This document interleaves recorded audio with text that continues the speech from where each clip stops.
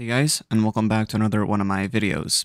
So did you know that you can take your armature of your avatar and make it into a fully functional uh, working avatar?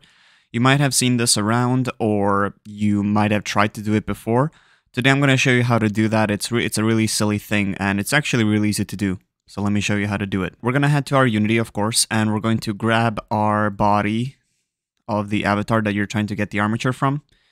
Going to right click, show an Explorer, you're to copy this and you're going to paste it on your desktop. Next, let's boot up Blender, press A and delete everything. Now go File, Import, FBX, and you're going to import the model. We're going to click on the body and just delete the mesh until you just see the bones like this. You're going to make sure you have the armature selected. You're going to go on scripting and you're going to go onto the link that I'll leave a link in the description down below and you're going to scroll down and you're going to copy this uh, second, uh, you're going to copy this script here, starting from import by, and then scroll all the way down till here. You're going to paste that into here, press this little play button, and then go OK, and then go back on the layout. and now as you can see, there's a slight different armature.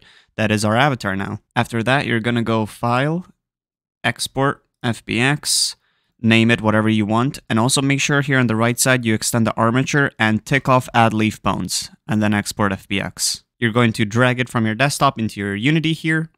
Uh, select your avatar, select its body, and then where it says mesh body here, you just simply want to drag in uh, the body here. You want to drag the body off of the FBX that you just imported and, and replace it with this body. If the body becomes invisible or if it disappears, you're going to select this armature and you're going to tick off convert units and then apply and you should be ready to go. And one final thing, select the original mesh of the body and where it says material size, make sure that it's just set to one because you're realistically just going to only need one.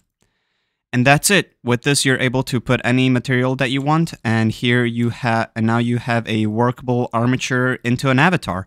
This works with any avatar.